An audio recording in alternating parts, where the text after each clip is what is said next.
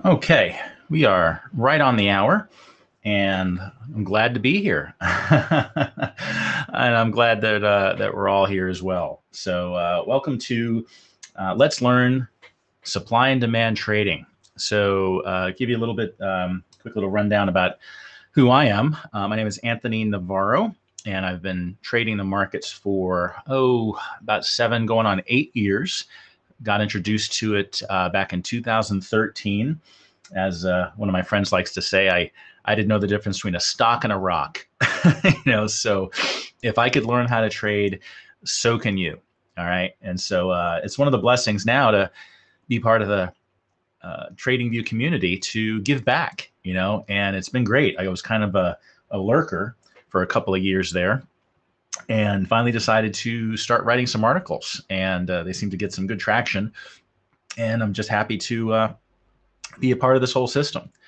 So i'm going to go ahead real quick and just turn off my fan. It's actually my portable heater and uh, i was having it on cool mode so uh, thank you all for being here. This is uh, going to be interactive. I believe uh, we have a live chat function, and I'm keeping an eye on that uh, on my iPad here while I have full screen access being taken up by my keynote presentation. And um, and my first introduction to the financial markets uh, was supply and demand trading, and I was told, uh, really instructed, taught how the markets really work. That um, it's really not about you know what a company is worth or a product is worth, whether it's like Tesla as a company or gold or oil as a product, that makes the market move. But it really is these big institutions, these these large institutions that drive basically the, the, the market forces of supply and demand. And, and we're going to see that if you're not already familiar with this, exactly how that works and how reliable your trading system can be when you learn how to trade using supply and demand. All right. So as I was saying, seven years ago, eight years ago, I started working in, in financial markets, just dabbled in them, learned how to trade futures, learned how to trade Forex, loved the leverage capabilities of it. You know, what, 20 to 1, 50 to 1, uh, sometimes even 100 to 1 leverage. So um, that was awesome. And it's been a, a great, uh, a great journey. Okay. So in a market, whether it's the financial markets, the farmers market, uh, the electronics market, or, or the automotive market, uh, what makes prices go up? All right. So obviously, you know, teaser here. This is about uh, supply and demand trading. So uh, demand. All right. Now, when I was a kid, when I was in uh, grammar school, golly, 1983. So I was I graduated grammar school in 1984. In 1983, um, we had this phenomenon, which basically created the whole uh, Black Friday um, anarchy, you know, Black Friday madness that we we know of of today.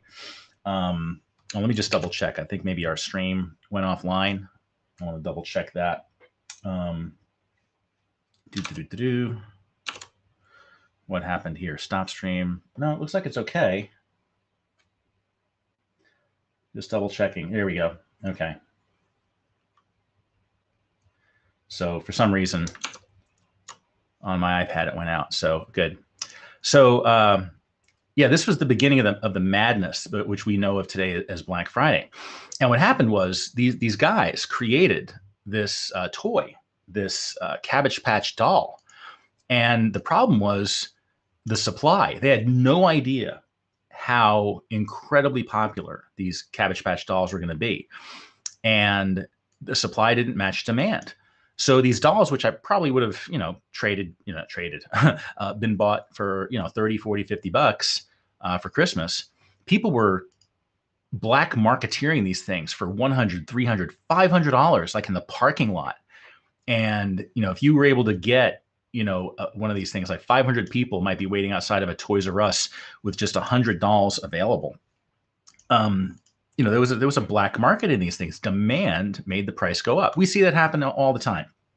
When there's a hurricane, uh, prices of certain things go up. Generators uh, price goes up because there's a big demand for generators. Uh, water, bottled water goes up, and, and, even to this day, as you can see, you, you could buy an original Cabbage Patch doll for over a thousand dollars, right? Because there's a demand. You know, you can't charge a thousand bucks for something unless there's a demand. Like why can why can Apple charge a thousand bucks for an, a, a smartphone? Because there's a demand and people are willing to spend that much money. All right. So the next question is what makes prices go down? All right. So what makes prices go down in a market is the same thing, supply. Right, or really the opposite of that, you know, two-edged uh, coin. There is is supply, and we saw that happen recently. Wine prices are beginning to drop because uh, we have excess grapes, right? And and they think that one of their problems that they did was uh, they they did not market to millennials properly, and so there's a glut of wine. There's an abundance uh, of wine out there that is uh, exceeding um, supply demand. So now there's a glut. They're trying to get it off their shelves. So what do they do? They have to lower the price. And so bottles that I used to spend 30 bucks on, like um, uh, Estimated Guess or um, uh, this one right here, Carnivor, you know, one of my favorite wines is sitting actually right there, Carnivor. These used to be 30 bucks a bottle, and now I can get it for 12. All right. So when you get a surplus of something and a slowdown in the purchasing of it, uh, grocery stores don't want to become warehouses. They want to move product and move it off their shelves. And the only way they're going to do that is if they lower prices. Likewise, we saw oil. Uh, oil dropped uh, 20%, and uh, that excess supply of crude oil uh, is just sitting there because no one wants any. And it's not that no one wants any, but we're stuck in COVID land, right? People are stuck at home. We're not using oil, all right? So that's the problem there and that's what causes prices to go down. Uh, the converse of uh, prices going up, and of course, something's going on outside as soon as we're getting ready to do a presentation. So, pardon that. All right. So, whether it's the Beanie Baby market, the Cabbage Patch market, um, or the financial market, a product is a product is a product. All right. So, whether it's a company, a commodity, or a currency, Okay, yeah, I appreciate you guys telling me that. Uh, yeah, appreciate you telling me that. So I am watching the live chat. So if anyone has any questions, uh, feel free to um, go ahead and uh, and uh, chime in over there. Appreciate that, Mr. Professor, the only Professor X. so I don't know if you are old enough to remember who all is watching uh, this live stream, but um, when you go to Wall Street or Chicago, you know they'd ha- they'd have these trading pits, which were absolutely insane you know these people are yelling and screaming and, and if you saw um, movies like uh, trading places you, you'd see these guys you know freaking out and trying to sell stuff. They're selling orange juice futures. They're raising their hand. They're yelling. They're shouting. They're making a spectacle of themselves because what are they trying to do? They're trying to buy inventory to fill up their quote quote uh, shelves so that they can then sell it to the world. So they need to bring inventory in and then sell inventory out. And how does the only way you make money in any market is when you buy that inventory at a wholesale price and then you mark it up and you sell that inventory at a retail price. Okay? So that's the one of the big myths and one of the big brain dumps that that people have the biggest difficulty understanding thinking that the financial markets are this big mystery machine, is some wild black box. It's like you got to be the Wizard of Oz behind the green curtain. And you realize all this is is buying and selling inventory, except we have an advantage. We don't need a store. We don't have to uh, physically warehouse any of this inventory. We don't have to find customers. All we have to do is press buttons on our computer. All right. Now, the reason prices move up and down in, in any market is because there's always a finite amount of product. I see what's going on out there. It's uh, it's leaf time, so these guys are sucking up the leaves on the side of the curb. So excuse me again for that. uh, so when there's a finite amount of product, you sorry you have only so many people to share that product. Now, if if if you go to an automotive dealer and they've only got two of these cars left that has have had a lot of demand, they can jack the price up because there's only so many X to go around. Now, when you're talking about the financial markets, you're talking trillions of dollars in forex, billions of dollars in futures, hundreds of millions of dollars of stocks every day that get traded. And even though there's so much volume, there's only so much to go around. And so when there's a big demand for something, so all of a sudden Tesla, you know, becomes the hot thing, people have a great demand for it. It brings prices up.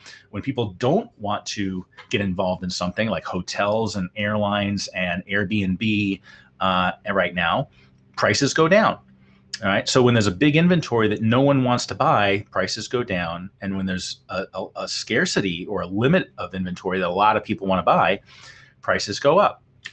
So on the floor of those exchanges back in the day, before we, uh, which I think we live in the in the greatest period of history when it comes to trading, is that we just press buttons. But but there's this great movie that which you can watch for free on YouTube if you see down there in the bottom right hand corner, The Pit just search for The Pit in YouTube. And it's this incredible movie watching how these guys did this. They were buying cocoa and cotton and coffee and and all these different commodities. And what they're doing is, you know, you'd have some people sitting on that floor saying, you know, hey, I'm looking for someone selling at 25. I want to buy cocoa, coffee, whatever at $25. And this guy over here says, hey, man, I got coffee. I'm willing to sell it to you for 25 because he must have bought it at 20 this guy who's buying it at 25 is probably going to jack it up and sell it for 30 and so on. All right. So at the end of the day, when the bell goes ding at uh, four o'clock uh, in the afternoon, then comes the job of the order clerk. This poor guy. Right. So this poor guy, when we were dealing with all that paper, this poor guy had to then enter every single one of those buy and sell orders. So these guys would be taking orders, taking orders, taking orders, taking orders, and and then the clerks at the end of the day have to stay late and they have to process all these all these orders. Right now, this guy's lucky enough that he has himself a computer. Right before that, you didn't even have a computer. They took all those pieces of paper and they brought it into a back room. Right, and in the back room, this poor order clerk then had to sort all these orders out by price. Right, so he would lay out all the orders and then he had to do some matchmaking he'd say, "Oh, okay, someone wanted to um, buy something for 47 $49.60 and someone else wanted to sell something for $49.60 and he'd then make, make a match he'd take those two pieces of paper and staple them and then basically that becomes volume which goes right into the circular file because how many of you save a receipt when you go to you know starbucks or save a receipt when you go to uh, burger king you know, nothing. So once you go click those two orders, basically, which are unfilled supply and demand, become filled. And a filled order is basically garbage. All right. So that's what, what happens. Those orders all get processed. Now, what happens, what, what's going on here is he sorts all that out by price. And this, this order clerk can actually find out where the market is going to move each day because somewhere along the process of that day, an institution is going to say, I want to buy something. And institutions like Schwab or Merrill um, and uh, Bank of America, I mean, they buy in bulk, right? You know, we think we buy in bulk when we go to Costco or BJ's or Sam's Club and stuff like that. But these guys buy in the millions of shares or tens or hundreds of thousands of dollars of contracts, um, or we know in the Forex market, trillions in, in currency right? So when you when you place an order like that, it leaves a dent. You know, it's not like skipping a rock across a pond. It's like throwing in a boulder and it makes a dent, all right? So what would happen is when he would lay out all these orders, he would say, "Hey, here's IBM. IBM opened up today for 50 bucks. So IBM's trading for 50 bucks, say." And you'd have a Schwab or a Merrill come in and say, "Yeah, I'd like to buy some IBM. I'd like to put IBM in my inventory, and I'll sell that uh, IBM to my customers." but I don't want to pay the market price. No, who wants to pay market price? You know, whoever goes to Costco and wants to pay the upfront price, who, who goes to the auto dealer and wants to pay the manufactured suggested retail price? I want to buy that thing on sale. All right. So your Merrills, your Schwabs, your everything, if they put in this big order and say, I'm going to be patient. I'm going to wait until price comes to, in this case, not 50 bucks. I'm going to wait until it comes to 49.60. And when that order, when that price comes down here, buy me a million shares. And what happens is they have a big pile of orders to say, buy me a million shares because what happens is you don't have one piece of paper saying buy me a million shares. You have to say buy a thousand, buy 50, buy a hundred, buy 10, buy one, because they have to buy it from other individuals. They have to exchange that value uh, with the people that have the amount of product that they want to buy to exchange. And that's why it's called the stock exchange and the futures exchange and the forex exchange, is because it's just a bunch of buyers and sellers exchanging, and they're exchanging however many you know contracts or however many shares or however many uh, units worth of product that's being sold. All right. So, so let's say that it's IBM that's going on for sale. All right. So IBM is the product, just like Apple's or uh, just like uh, um, Toyotas or just like a an iPad. Uh, IBM's for sale and IBM's for 50 bucks. So um, it comes in and then they then they then they tell their their broker, okay, uh, buy us a million shares of IBM at wholesale. They know in advance then, just like a grocery store. Right. So go back, go back to the, the grocery store metaphor or the Amazon metaphor or the, the Walmart metaphor. They know when they're going to put a product on their shelves, they're going to buy it at one price and they know in advance where they want to sell it.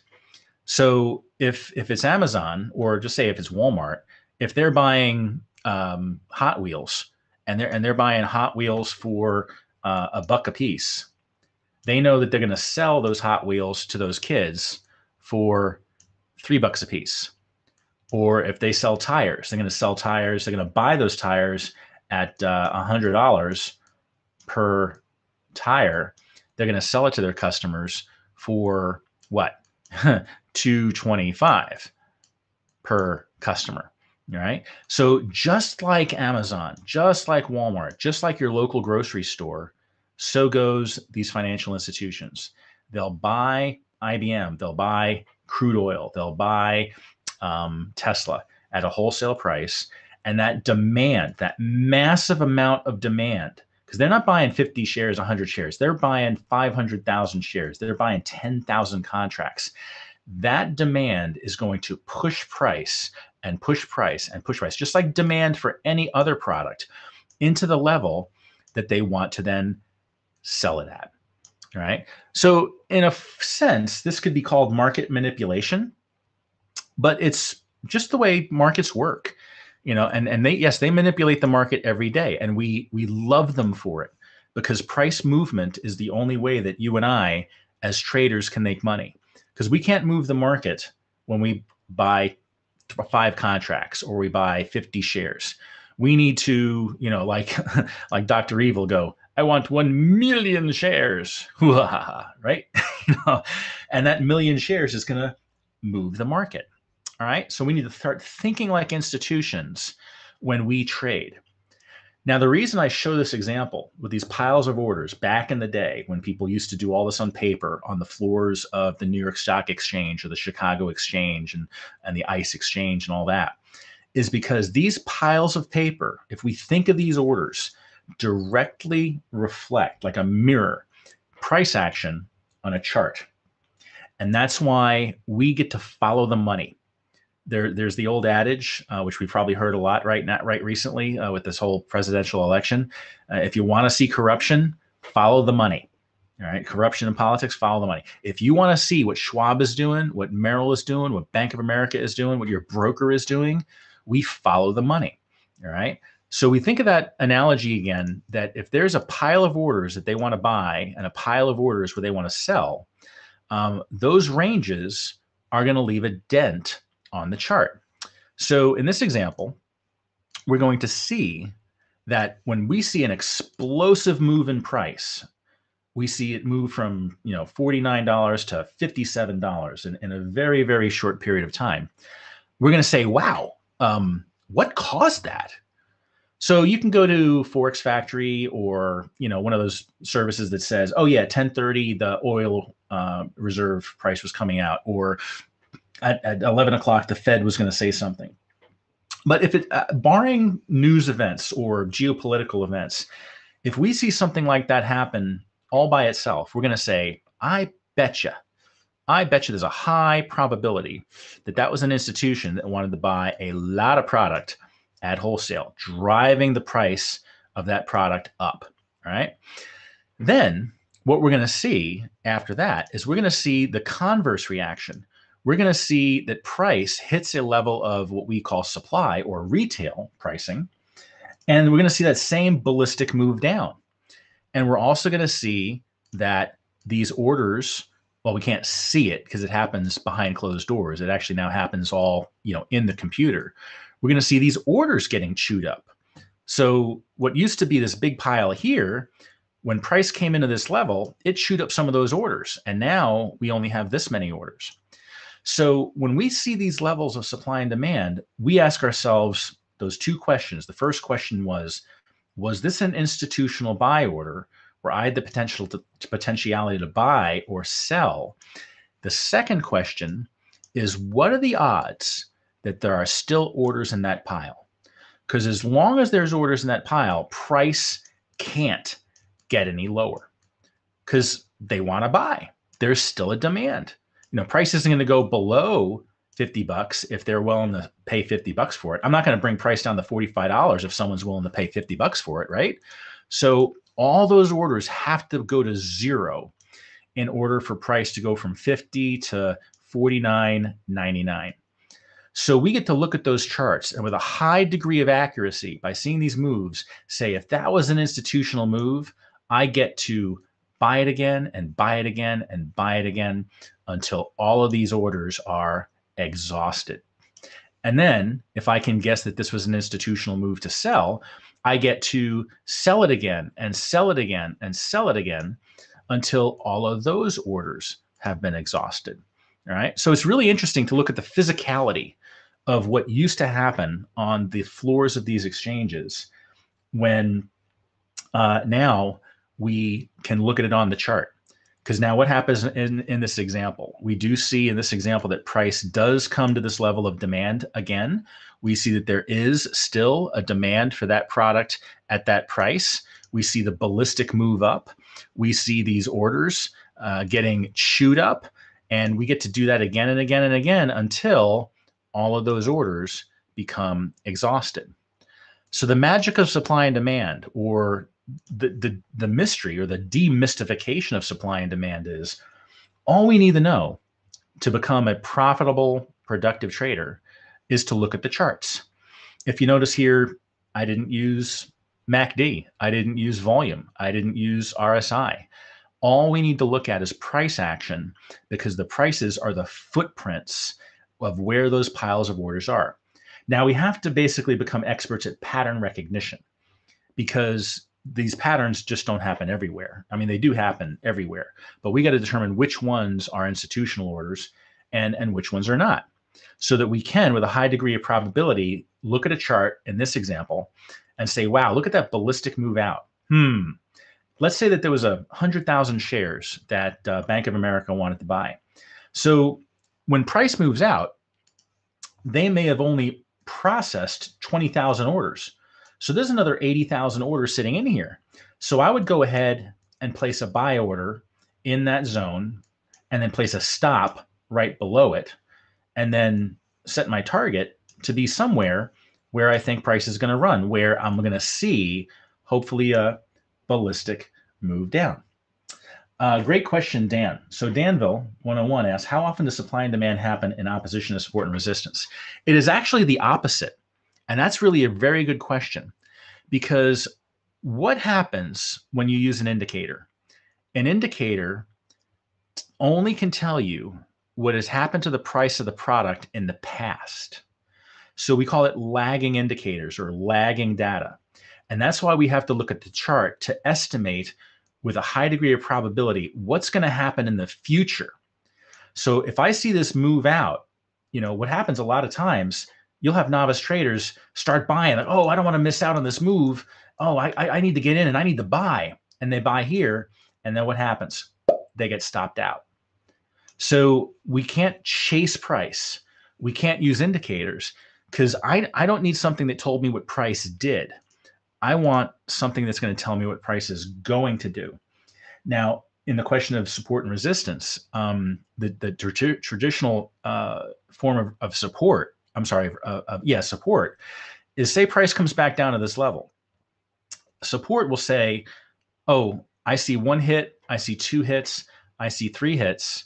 Uh, I, I, bet you, I bet you that's a good support resistance level to get back in. So if it comes back down here, now's the time to buy. But what happened with each of these hits? If only 20,000 orders got processed here, maybe another 10,000 orders got processed here, 50,000 orders got processed here, 6,000 orders got processed here. So you're actually now reducing your odds because again, resistance or support told me what price did in the past. I need to know what price is going to do in the future. So to carry out this example in that uh, modality, price does come back into this level. And let's say at this point, we placed our buy order. And the moment we got into that buy order, we bought at this level because we were waiting for price to come back to where we saw the ballistic move out. We placed our stop somewhere pr- to protect ourselves, to, to limit our, our loss, to limit our, our risk. And then we would have seen where we saw what? A ballistic move down. And we could have set our target somewhere below that. All right. So we could have gotten, say, one, two, three, four, five, six, six or seven or eight R out of that. So if we had a hundred bucks worth of risk here, in this example, we would have made uh, 800 bucks based on where price retraced to. All right. So in my book, th- there are people different than me that that that like to play the odds a little bit, but I only take the first hit. It's kind of like that that cat, or if you touch if you touch a, a hot uh, stove, or my cat actually walked across a hot stove the other day, heard a meow, and I was like, ah, what the heck happened? And he's freaked out, and he he walked across a hot stove, and like that'll learn you, stay off that stove, right? so I only want to take that first hit, but you know, you have no idea how many orders are back there because it's it's invisible. It's behind the green curtain. It's behind the computer. But I can know with a high degree of probability that I can take that first hit because if there was a massive amount of orders in there to create that first ballistic move, I can bet you dime to donuts that there's going to be enough orders to give me a profitable trade, at least three to one. So if this is my one, I'm going to go one, two, three. I'm going to at least get three to one out of that trade because of the pattern that I saw uh, earlier there. So yeah, great question. Uh, using support and resistance as as indicators in this particular you know methodology. Now, in this particular example uh, that I took here, this was, um, I can't remember what asset this was. I, I took it off. But there was another hit, and then there was another hit, and then there was a teeny little hit after that, and then it failed. Right. So I just created these numbers, you know, down there just for hypothetical reasons, just to show the more times you hit it, uh, you're gonna you're gonna see weaker and weaker responses. So there obviously were a lot of orders down here because of that big response. And there were fewer orders over here because of a, of a weaker response and fewer orders over here because of a weaker response. So supply and demand shows itself right there where there's a demand for a product at a particular price and with a high degree of probability we can estimate that we can catch that that next move almost like the shark and the sucker fish if you ever see that um, a picture of a shark and a remora those little sucker fish uh, the shark is the big boy, right? He takes a bite out of his market. Sorry for this beautiful drawing over here, right? There's the shark. Eh, eh, eh, and what? Who's the remora? He's that little guy that just sits right under the shark, and the, and he waits for the shark to take that bite out of his market, whether it's a whale or a swimmer or you know whatever, and the little fish gets off, eats all he wants, gets back on, and says, "Where next, Bubba?" You know, so so the, the remora can't take down a whale or a seal, but the shark can. So the remora loves hanging out with the shark. We love hanging out with the institutions. Uh, kind of like you know when you're a little kid and you, you know you, you, maybe you put on your dad's or your mom's uh, shoes you know so little boys be stomping around in their daddy shoes. I'm a big boy now. Little girls be stomping around in their mother's shoes. I'm a big girl now. That's what we get to do. We don't have billions of dollars to trade but we can put on the big boy shoes and we can get the same results. So if they bought a 100,000 shares and made a 50% profit, we can buy 100 shares and make a 50% profit. So when we follow in their footsteps, it's the same. It's the same thing to go with success or modeling. If you ever took a motivational class and they have this particular, um, you know, recommendation called modeling, where do what successful people do, and you'll get what successful people got. You know so that's the that's the the motif. You want to be a successful husband do what good husbands do. You want to be a successful author do what good authors do. Buy buy books on how to write by successful authors. Uh, stephen king one of my favorite authors and he wrote a book on writing. And um, you know i'm writing a book you know so that kind of thing. And traders I, I didn't invent anything about trading. I became a good trader because i modeled i followed successful traders okay? So you do what successful people do you'll get what successful people got and that's all I want to do is share the same information I got. Um, I heard a great, great quote this weekend from uh, um, the guy that um, wrote the original book uh, or the original screenplay to, to, the original movie Alien, the the you know scariest movie probably in history. You know, rated one of the best science fiction horror films of all time. And Dan O'Bannon, who was the author, um, someone said, you know, I think he I think he stole from somebody, and he says, I didn't steal from somebody. I stole from everybody. you know? And and that's what that's what we're doing. We're stealing some of the greatest ideas. We're stealing the ideas of these institutions and just playing right along following uh, right in their footstep. Dan asked a very good question. What's the best time frame to identify supply and demand? Hold that thought because that's a very good question and i'm, I'm going to cover that. I'm going to cover that in just a little bit in a hot minute. Now one method that people um, who, who trade supply and demand in the past tried to um, utilize this was called the DOM or depth of market. And, and TradingView offers this in their charts. You can see it um, in the lower uh, right hand corner uh, with all the icons. And it's, it's towards the bottom there, depth of market. And this tries to tell you um, how many orders there are in uh, each of these price levels. So you can kind of estimate, you know, where supply and demand is. But the problem is, uh, after a little while, the institutions got smart. And what they do is they might have, again, a million shares that they want to buy, but they'll do what's called order pumping. They'll pump out a thousand, pump out a thousand, pump out a thousand, pump out a thousand. And you might be telling yourself, or traders might be telling themselves, man, I can get in here. It's a great opportunity. There's only 82 contracts over there. And then poof, it goes up to 182 and it gets back down to 50. Poof, it goes up to 150. And it's like, darn it, what's going on here? What's happening is the institutions are pumping um, their orders in, and they're not letting you see what's on the bottom of that iceberg. You're only seeing what's on the tip of the iceberg. So what used to be uh, something that was kind of useful that where you actually saw the full amount of orders. People used to pay, I think, like a thousand bucks a month. Um, I could be wrong, but I think they paid. I mean, they paid a lot of money to subscribe to what was called here level two data. Um, and, and now it's useless because they, they use computers to just pump all those orders in and you see a little bit, it's gone and a little bit and it's gone and you have no idea the depth of that market, the true depth of that market. So that's why, again, we need to look at the chart. We don't need to look at how many orders there might be. We need to see what is actually there. And, and take the advice of Master Yoda. We must unlearn what we have learned and we've learned to use indicators. We've learned to use uh, the depth of market. We've learned um, to use all sorts of interesting tools, but all the information is on the charts. The charts tell a story, and I, and I love now that I can I can I can see how how price moves. Um, and I'm teaching my students um, in my in my trading group, the Sabre Trading Group, teaching them how to see it. And it's so amazing to, to I can't see them in person because we're on on on Skype or not Skype on a, a Zoom three times a week. But you can hear the little, almost like a little, like a little audible pop in their head, like, "Oh, I got it," you know, or now I see it. But it really becomes a, a profound thing when we think about these institutions like a grocery store, where they're going to buy inventory, say in this case gasoline, so you might have ExxonMobil saying, I want to buy, you know, a thousand contracts of gasoline for X.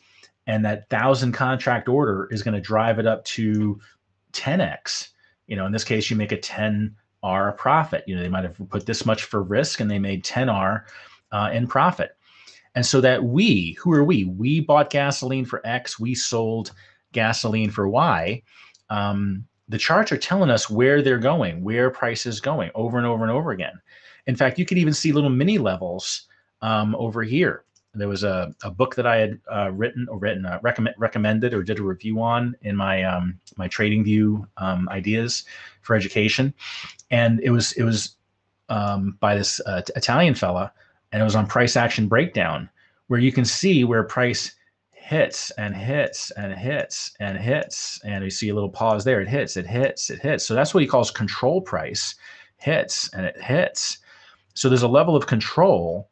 And then there's the zings off of that. So it came up and broke down, came up and broke down, came up, paused. Ooh, now the buyers won. So over here, the sellers were in control. And over here, the buyers are in control. And so the, the charts tell a story. You know, you can almost, once you learn how to read these charts, you can almost just grab yourself a box of popcorn and just pace yourself through the charts. And, uh, and it's like watching a movie. And it's amazing how, how entertaining this is, but also how reliable this is. All right. Now we go back to that example. Um, we, you know, who are we buying that gasoline? Who are we buying wheat? Who are we buying cocoa? Who are we buying a, uh, uh, an ETF? Um, these are those institutions. So these institutions are just like big virtual financial warehouses, just like Walmart is a big physical warehouse. And so they need to fill these shelves up at wholesale prices to buy them. And then what do they got to do? They can put them on the shelves and then sell them to their customers. And this is this is the big thing that we need to again twist our brain around to unlearn what we have learned. Thank you, Dan. I appreciate that. It's uh this is amazing. This is profound. When I when I when I pulled when I looked at this, I was like, is this seriously how this thing works? This because we've been taught for generations that we have to give our money to experts. It's like we've been doing this all our lives we, when we were kids, what do we do? We, we buy a, a can of uh, lemonade.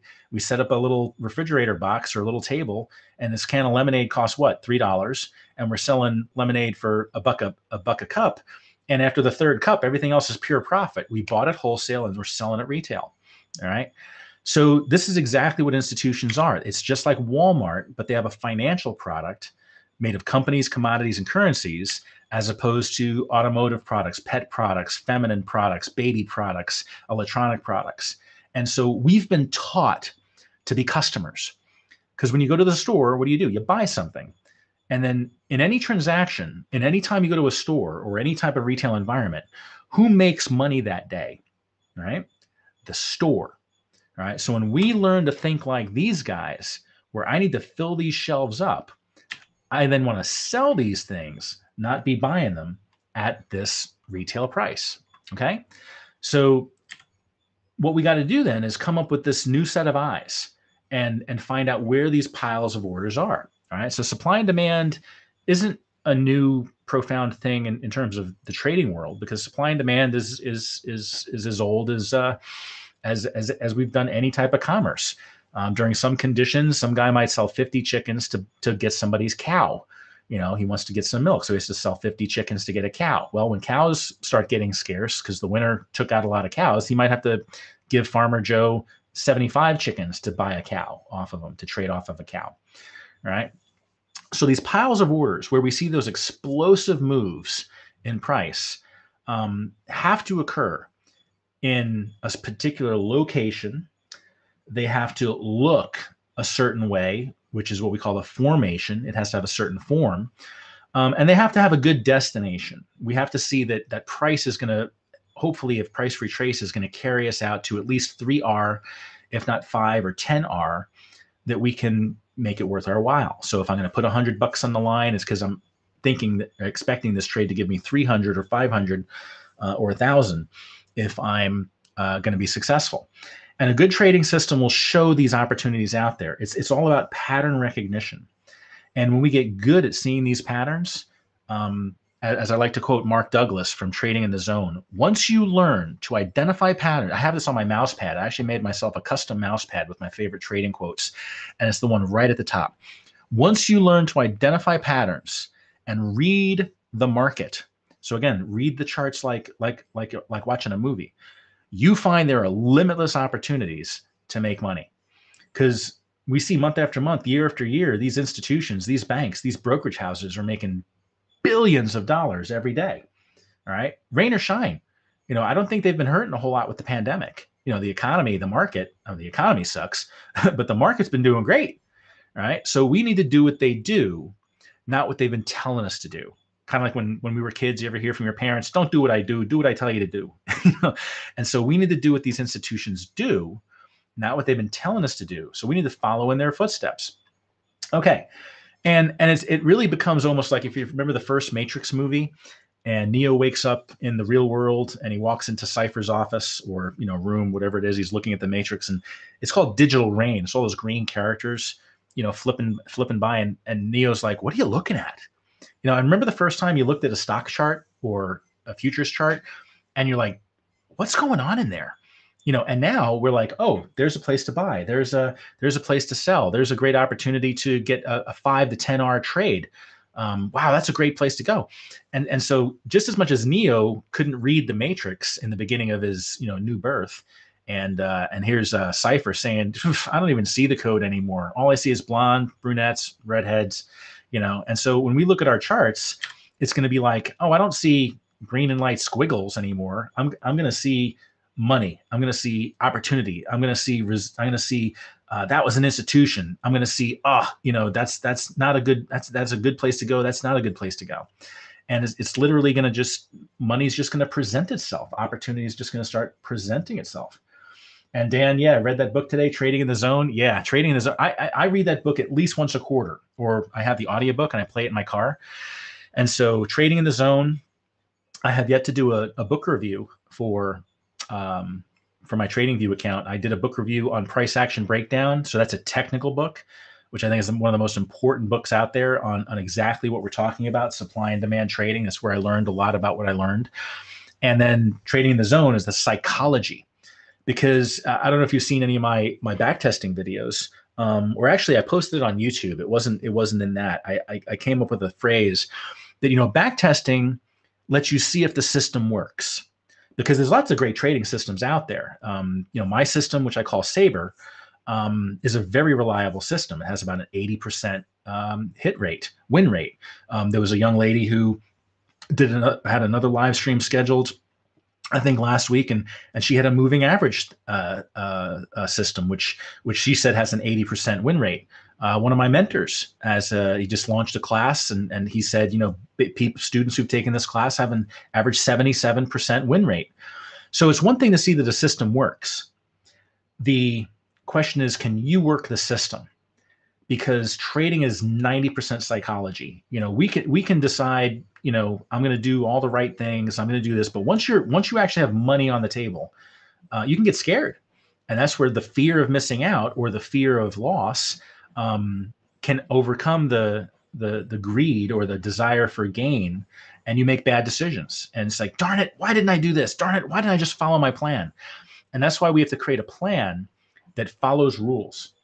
Um, dan the uh, the uh, the book for technical was called price action breakdown and it's an italian guy i can't i'm not going to try to pronounce his name uh, Delaney Lorientau, Lorientau Delantis, I can't remember his name.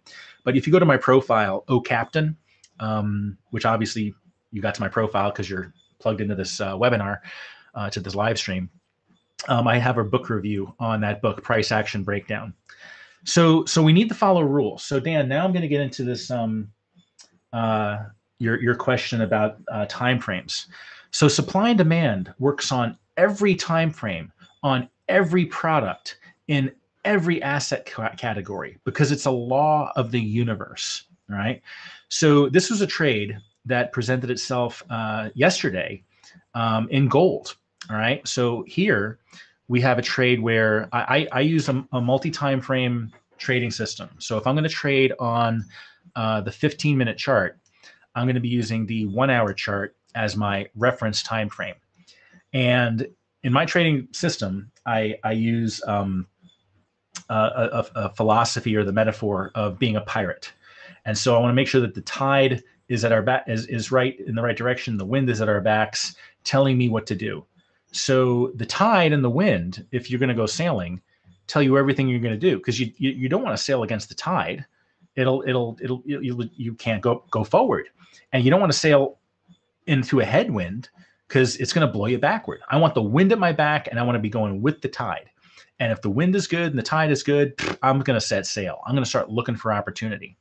So here we are on a on a 15 minute time chart, right? Day trading. And what do we see? We see an explosive move out.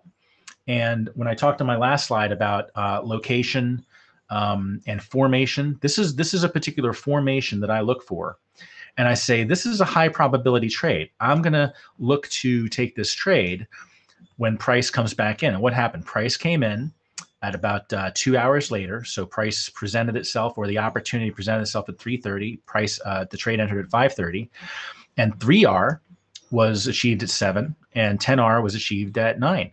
So this was a great trade for day traders following a simple system of supply and demand.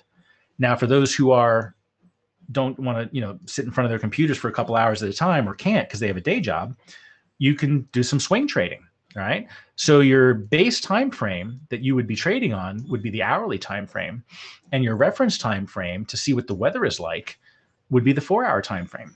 So again, I want to see that I'm in a good tidal position, the tide is rising and the wind is at our backs, meaning the RSI is increasing at each pivot high. So I have a high probability that, of, of winning uh, in a long uh, situation.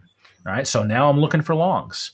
So on the hourly chart, if I'm going to be a swing trader, I'll just check my computer maybe twice or three times a day, if because I'm looking doing swing trading.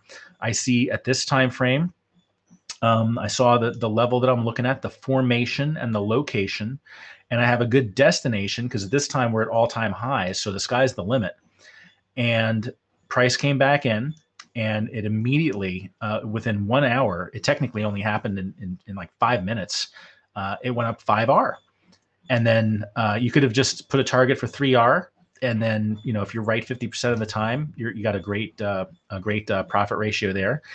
But it eventually achieved 6.7r if you used uh, trade management rules if you actually did sit in front of your computer and do like a technical trailing stop now, say you're not a swing trader. Say you're you don't want to spend even uh, every day. You know, maybe just once a week.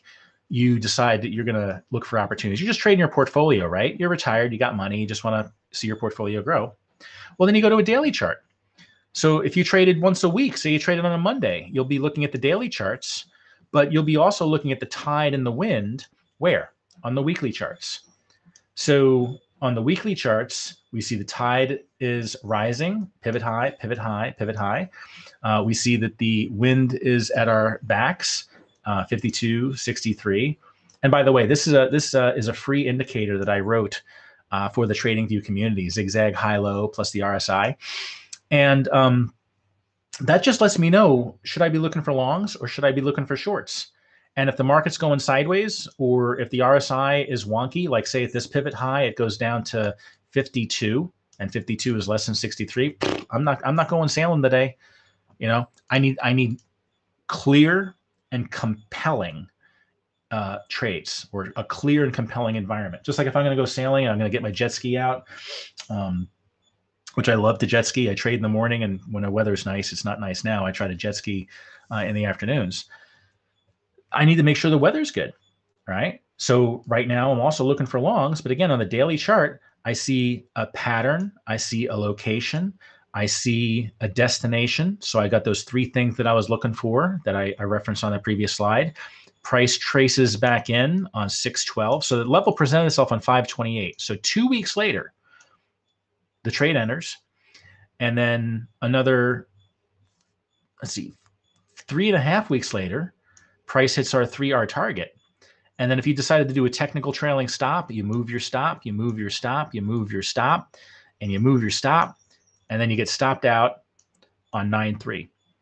So this system, supply and demand, whether you're using my particular system, Sabre, or Laurentis's uh, system that he outlines in um, Price Action Breakdown, or any number of systems, as long as the system is based on supply and demand, you can trade any product on any time frame um, uh, for any reason or in, in, in every asset class. You can trade Bitcoin using supply and demand. I actually had a really good Bitcoin uh, trade example. I don't trade Bitcoin, but I went to the Bitcoin futures and I think it was November 4th when the first level hit. And then it was just technical trailing stop after technical trailing stop, and it went like 47 to 1. So someone wanted Bitcoin.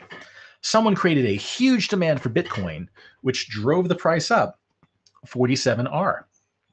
And then a couple weeks later, Uh, there was another, I think it was like 20, 24R, you know?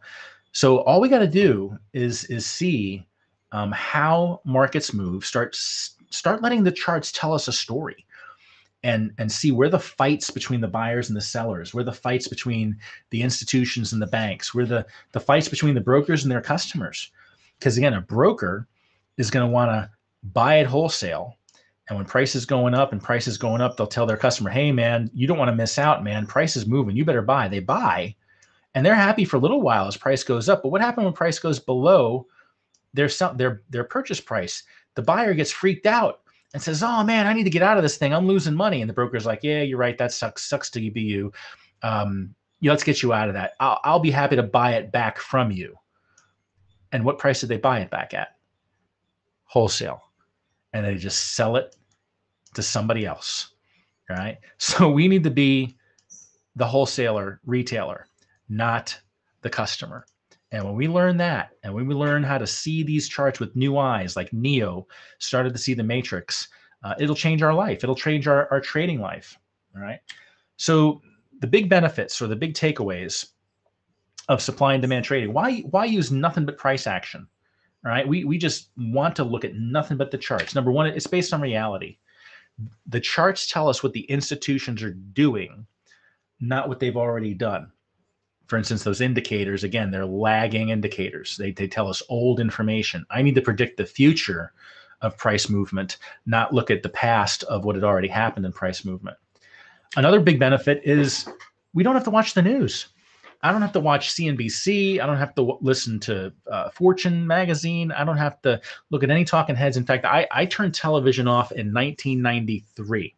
I'm not going to do the math and try to figure out how many years ago that was. but after the first Gulf War, that's when it was. Uh, my wife and I, you know, it was the first televised war, right? We were watching uh, missiles going down chimneys and stuff. It was just an incredible time. But man, it was it was it was it was aware on, on our brains, and we're like, hey, honey, let's take a month off. Woof, man, we need a break. And after the first month, we were like, wow, that was pretty cool. Let's do it again. And we took a second month with no television, and we're like, wow, this is working out really good. I guess we don't need to have television anymore. And we cut the cord. You know, way before the word cord cutting was a thing. Uh, we cut the cord back in 1993. Now I do watch movies. I have a I have a killer home theater upstairs, 144 inch screen, surround sound that'll blow your ears out. That's probably why I have to wear hearing aids now at, at 49 years old. Um, but you don't need to use the news. Or it's strictly price action. So it saves you all the time and all the heartache and or or heartburn of trying to figure out what to do. Um, the third, I've, I've, mentioned this several times now, supply and demand works on every market, on every time frame, on every product for every trading purpose. So you can trade uh, swing trades on forex. You can do um, you can do uh, day trades in futures. You can do scalping on stocks. You know, so whatever you want to do, uh, as long as you can learn how to look at the predictive nature of these patterns you can follow the same patterns on every time. I, I, traded the one minute candles just to say that I could, and and and I was able to trade for a while, for about a week, because then I went crazy because like there was just alarms and alerts popping up everywhere. Um, but I traded the one minute candles just to see if this actually still worked, to see if my trading system Sabre uh, worked. Because I, I, tested it on the 15, I tested it on the hour, I tested it on the daily. I said, you know, just for curiosity, I wonder if I could trade the one minute candles, and I could. That was pretty crazy. Um, and Dan, great point.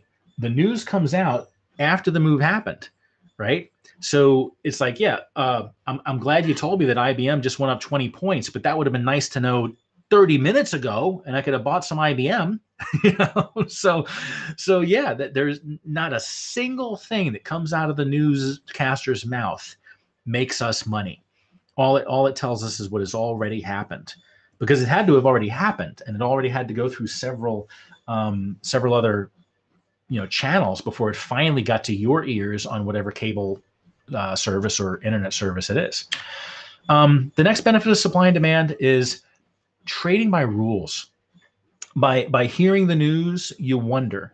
By by looking at the statistics or the price to earnings ratios or um, you know history, it's like you wonder there's just a bunch of uncertainty when you're trading on you know the fundamentals when you're trading on the technicals it's just like pulling it's just like pulling the um uh, the arm uh, of a slot machine at Las Vegas. You're not stressed like, oh, should I pull the arm all the way? Should I should I put a quarter in now, or should I wait 15 minutes and then put a quarter in it? And when I put the quarter in, should I should I flip that lever right away, or should I pull it really slowly? It's like, uh, you know, you don't do that. You just put the quarter in, pull the thing, put the quarter in, pull that one arm bandit, you know, and you do it again and again because you know that statistically you're going to make X amount of money when you have a system that has X amount of return. So if you have a system that has a 50% probability and every trade a 50% win rate, and you have a system that you your win rate is always at least three to one, what happens? It's just like flipping a coin. You win three, you lose one. You win three, you lose one. You lose one. You win three, you lose one. You win seven, you lose one. And it becomes amazing. You just start placing trade after trade after trade after trade because you just see, oh, there's a trade, there's a trade, just like, oh, there's a blonde, there's a brunette, there's a redhead, like Cypher in the Matrix. You're just going to see these opportunities based on supply and demand, and it's it's become stress free. I think that's the biggest benefit of um, of uh, of supply and demand, just as just for your own self as a person, is uh, to trade without emotion, to trade like a Vulcan. I say trade like Spock, trade long and prosper, right? and uh, and and then uh, and then you just keep trading uh, again and again and again. Uh, professionals learn how to trade what they see, not what they hear. Yeah, exactly. And um, yeah, the phrase I heard from some of my mentors was trade what you see, not what you feel. And um, and I, I have a friend, one of my best friends, my trading buddy. Um, it took me a long time to pull him out of that ditch of emotion because he's like, oh, but I got a good feeling about this. Oh, but this uh, this thing, and oh, but you know, and I was like, stop saying oh. You know, you're you're going oh oh oh, and it's like you're using emotion. What did the chart tell me? Look at that wick. Look at that third candle look, it's not a leg, it's a base. But, but it's like, no buts. Just trade based on our rules. And once he finally did that, then he started becoming profitable. In fact, this morning he we were texting this morning. He couldn't trade with me this morning. Um, we trade via Zoom, and he said, uh, "Yeah, I've got this thing happening with my family. I can't trade the day, but man, I, three three uh, three three three green days in a row, man. I'm happy. It's like love it, man. And it's so good to hear him uh, say that because in the beginning he was so frustrated because of his emotions. Um, benefits of supply and demand also high probability. When you learn how to do this, it's just like you know Walmart doesn't lose money, you know overall. You know they might have a product or something that they just got to put on clearance and get it off their shelves, but overall they're buying at wholesale, selling at retail, and once in a while they'll take a loss. But overall they're getting those wins, which is why every time I get a one R loss, I don't care. I, it, that emotion stays away because I know my next three R win will take care of it. Right. And so you don't have to be super duper. You uh, even if the system has an 80% win rate, you don't have to have an 80% win rate to be a profitable trader. And to be a profitable trader, I mean, that's you're going to be beating 90% of the people out on the market who are not profitable traders. And I can only imagine if, if nine out of 10 people don't make money, why? Because they don't have rules. They get emotional. All right. And, and another great benefit of supply and demand, as you saw with those three examples I gave earlier, you only need one screen. When I first started trading, um, I uh, I had I had six monitors. Well, not six, well five really. I had my three main monitors. I had a laptop, and then I plugged in my iPad as a secondary monitor, and just had all this stuff here. My, my room got hot. I had to put an air conditioning unit in the window, and the HOA got all upset at that, and and it's just all this crazy stuff. And now because it's so calm and so relaxing, um, I only need one screen. I, I just need that one screen to show me on the left hand side the tide and the wind, and then the right hand side where the waves are. And I just place my trades off of that one screen. I can trade off my tablet now. The last update to the um, iPad Pro, iOS uh, 12, I think it is. Uh, iOS 12 has desktop class browsing now. So I can do TradingView on my iPad.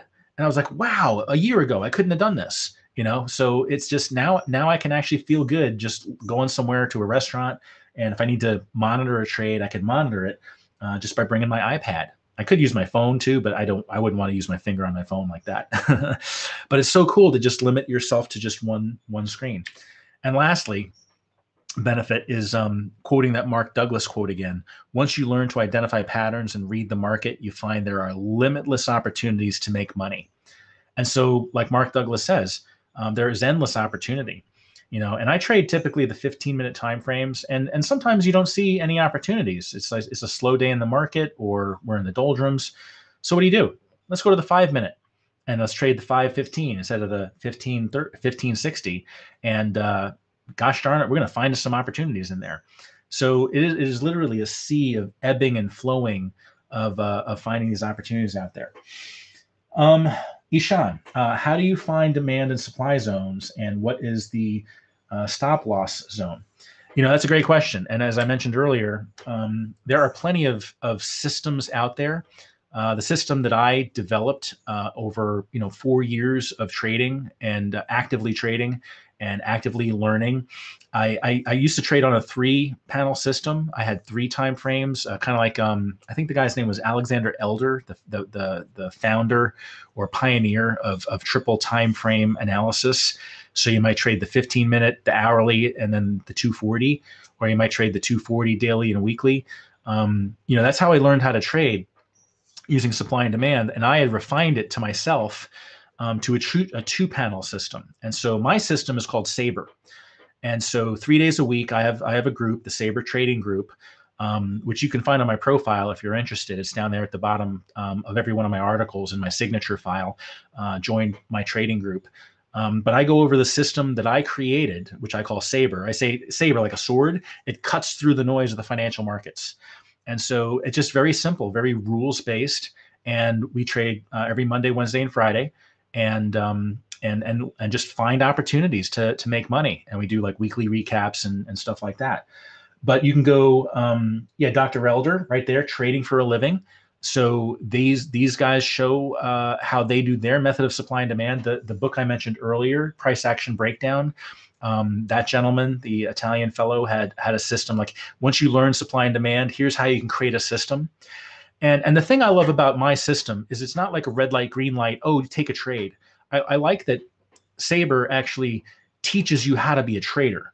I don't even like calling, you know, what I've got an indicator. I just call it a highlighter because you can just see it there on the chart. The price action's right there on the chart but sometimes it could be taxing on the brain to be looking at candle after candle after candle. I'm like, just just give me the spotlight. It's almost like uh, like when you're in predator mode. You put on the predator glasses and you see the you see, you see the infrared footsteps of your prey. And so, really, that's that's all that is doing. So it's not something that you just uh, slavishly uh, take a trade because the indicator told you to take a trade. No, mine is more like a highlighter, where I teach supply and demand, and then we just highlight where the opportunities are and we have to make trading decisions based on that. So it's it's not you know like I don't know a lot of people sell indicators, um, but I don't sell indicators. I I want to teach my people how to become traders. So uh, yeah, Dr. Elder, trading for a living. In fact, I think I got that. Uh, yeah, right here, trading trading for a living, right here on my psychology, trading tactics, and money management. Yeah, how to become a cool, calm, and collected trader, and uh, and how to develop a powerful trading system. So again, my system, which um, you know, it took me four years to to, to develop the system I got now, um, and it, it, works great. And I, I, I learned from other people's systems and refined them and back tested them to death, which is why I'm so passionate about back testing. Um, and uh, Dan, yes, uh, I left my my URL is right there, tradingview.com/slash ocaptain. Basically, my profile page where you plugged into this um, uh, live stream, and uh, you can you can actually see in the footer um, I have a link to uh, my trading group. So it's uh, it's like you want more information. I sell spreadsheets. I have um, uh, some training as well as um, my weekly uh, or thrice weekly group. And so, like I say, we meet Monday and Friday at 9 a.m. Eastern time, and Wednesday at uh, 2 p.m. Uh, Eastern time too. So yeah, if you're interested in joining our group, I, I say trade like a pirate. So you're part of our crew, and every week we go through our strategy and we just find trade after trade after trade. And, and that, what I love the best is when my students or when my crew gives me their screenshots. Uh, what did I do wrong? How could I have done better? Is this a good trade? And, and so we look for setups. And so then we're, we're actively doing that. And that's what that's the hardest part about becoming a trader. As we see with supply and demand, trading is easy or trading is simple, right? But that mental process, becoming a trader, is the hard part. So, what Dr. Elder talks about in trading for a living, what um, uh, Mr. Tharp says in trading in the zone, uh, it's all about psychology. You know, it's ni- it's like ninety percent psychology. Y- you can find a system that works, but can you work the system? Can you get your emotions um, out of that system? And uh, and whether you're using the Sabre system, whether you come up with your own system, uh, as long as you're using supply and demand, you're trading reality. You're trading with the institutions. You're trading with the people that are making those markets move. Um, just like if you're on a wakeboard, the boat is doing all the work, right? Creating that big trench in the water. And you get on the wakeboard and you're just surfing along. And that's exactly what we do as uh, supply and demand traders so uh, so yeah dan if, uh, if you or anyone else are inspired and would like to join our uh, crew as I, I, like to call it the hms opportunity uh, feel free. I would love to have you join our group and, and trade with us uh, tomorrow. I mean to, oh not tomorrow. Yeah tomorrow. Uh, wow my time flies right? Tempest fugits. So tomorrow is friday. Um, or just keep on plugging on and, and read some of those books and learn more about the markets because the markets are very predictable because they're made by people who have patterns, patterns of buying at wholesale and selling at retail, just like the grocery store, just like Walmart. That's exactly how these big institutions do it. They leave footprints in the sand that we can look at on the charts, and we just got to follow the money and follow the opportunity. Well, it's hard enough for an Italian to say that uh, he's out of breath. so uh, it's been wonderful uh, uh, performing this live stream and uh, sharing it with you. Thank you for all of your input.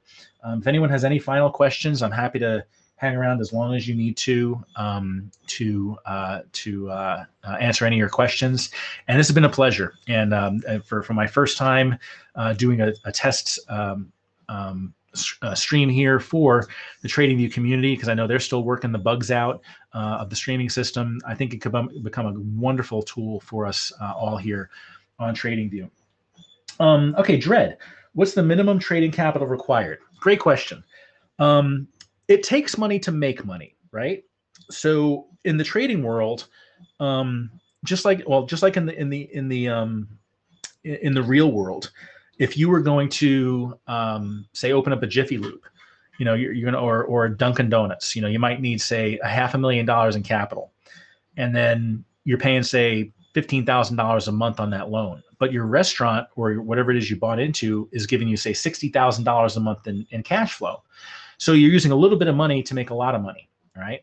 So in trading, if you want to really figure out like a, a particular number, like how can I make $500 a week okay? Or or how can i make a hundred bucks a day? You you gotta you, you just kind of backstep the whole thing and say okay if i'm right 50% of the time so i'd lose one and make three on a three to one trading system. Uh, or let's say you're not that good. Let's say you're only right one out of three times all right? So let's say you lose one lose one make three. So you grow by one r every day.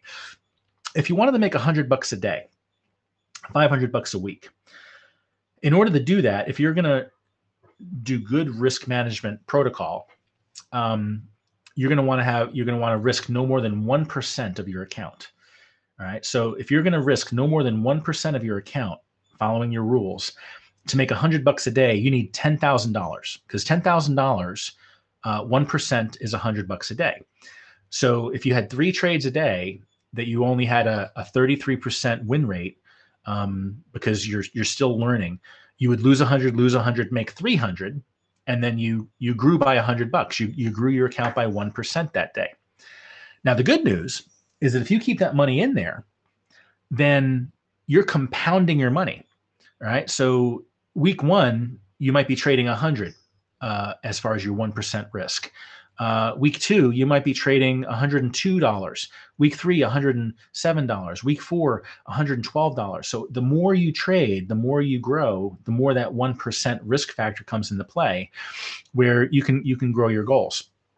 So the other the other factor is, you know, say if you only had $5,000, but you still wanted to make 100 bucks a day. Well, you either need to up your win rate so you're say if you're right 50% of the time, you lost one R, you made 3R. So you netted two. 50 bucks times two is 100 bucks. So you're still making 100 bucks a day, but you're doing it because you are now becoming better at your system. Okay. So that's a great question. And, and, um, and as far as like the minimum capital required, I mean, you can open up a, a Forex account for 100 bucks, right? But 1% risk is a dollar. So you're going to risk a dollar to make $3. You're not going to make a lot of capital. However, you are going to learn and and and if you lose it, if you put a dollar on the line and you lose a dollar, you've lost real money. And so like, oh, that really hurt. I lost a dollar. You know, it, it doesn't hurt like losing a thousand dollars, but it adds a, a, group of reality to it.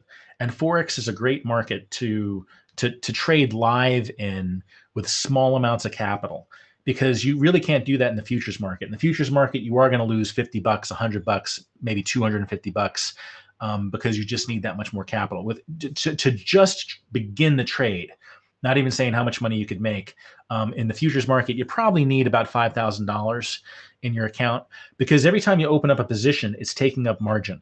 So you might only still risk a hundred bucks, but you needed 4,000 bucks to place an S&P trade. You needed 1,800 bucks to place a euro trade. You needed um, $1,700 to open up a British pound trade.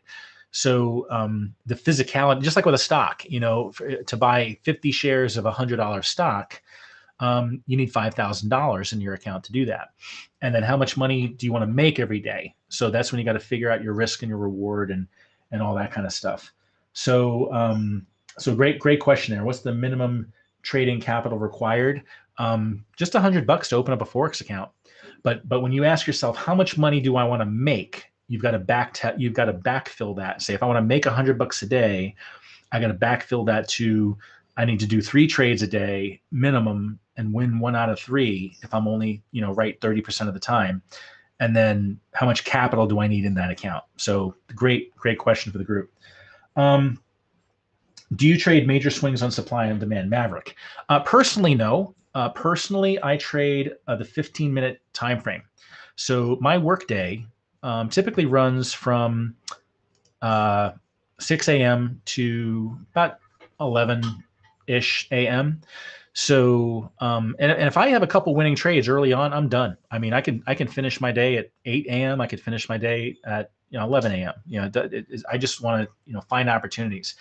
But what I said here on these three slides, whether you trade in the 15 minute for day trading, 60 minute for swing trading, daily for uh, long term trading, um, supply and demand style trading works on every time frame in any asset. You can trade futures, uh, you can trade forex, you can trade stocks, you can trade options, which are basically stock trades. You're just using the options vehicle. You can trade Bitcoin. Um, using supply and demand trading. So that's that's the one of the beauties of it is once you learn how to trade supply and demand, you can trade any product. So I was considering opening up a forex account. I do have a forex account, but I moved all my capital into my futures account.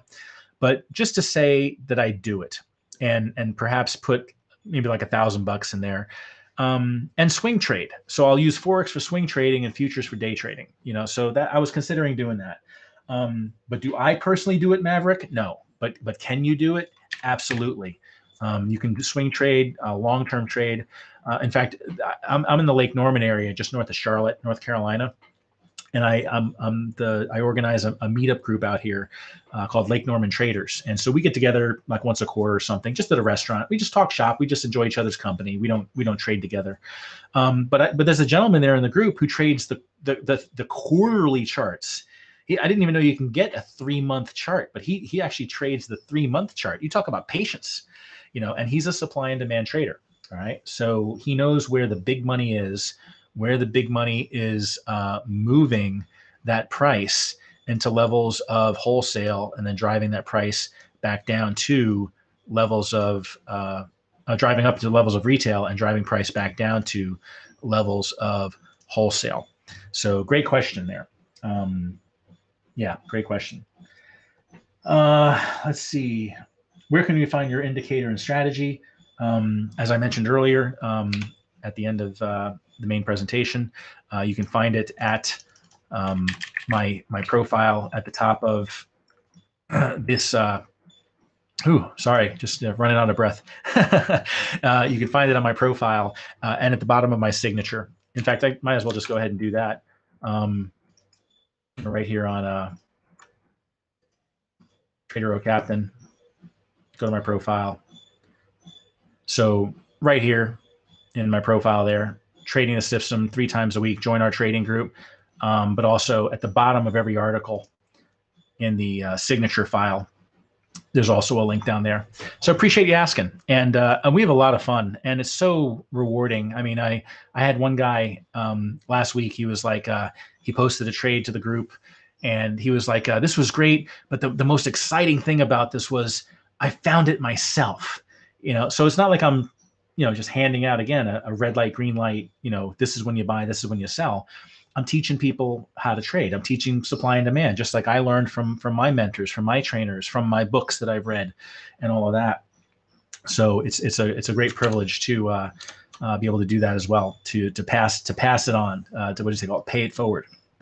All right, so I don't see any more questions in the group. So um, I appreciate everyone's questions. This was a wonderful time. I think it was a wonderful experience for um, uh, for for the TradingView um, uh, leadership too, because they do uh, want to see more activity happening in these streams, having quality content uh, coming up in in the streams here for the TradingView community. right now, it's still in beta, and uh, I think as we start um, uh, getting some more uh, experienced, uh, I guess they call them broadcasters, get some more experienced broadcasters out here creating some uh, quality content.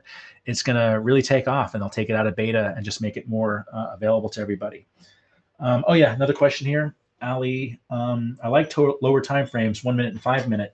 Yeah, like I said, um, you know, if I go back to uh, my charts here, I'll just go say pull up, pull up anything. I'll go it's hard to it's hard to trade the lower time frames on things that don't have a lot of volume all right? So it's it's real tough to say trade agricultures and meats because say you go to um, uh, feeder cattle if you go to the five minute and then the 15 minute say you're going to trade that way um, well feeder cattle actually isn't that bad. It doesn't look that bad. But let's say wheat um, yeah, when you get down to certain certain assets, the charts get really choppy. Um, the bonds are the same way. The bonds are not good uh, to trade in the uh, lower time frames because they get really blocky and really choppy. So so bonds, I actually do bump up to the hourly. So if you go to the 60 and then the 240, I'm looking for the same patterns. I'm looking for the same result. I'm looking for the same R um, but but the charts are just much more fluid and much more uh, dynamic. And in fact, here's here's a level right here. So in this uh, area here, we were in an uptrend.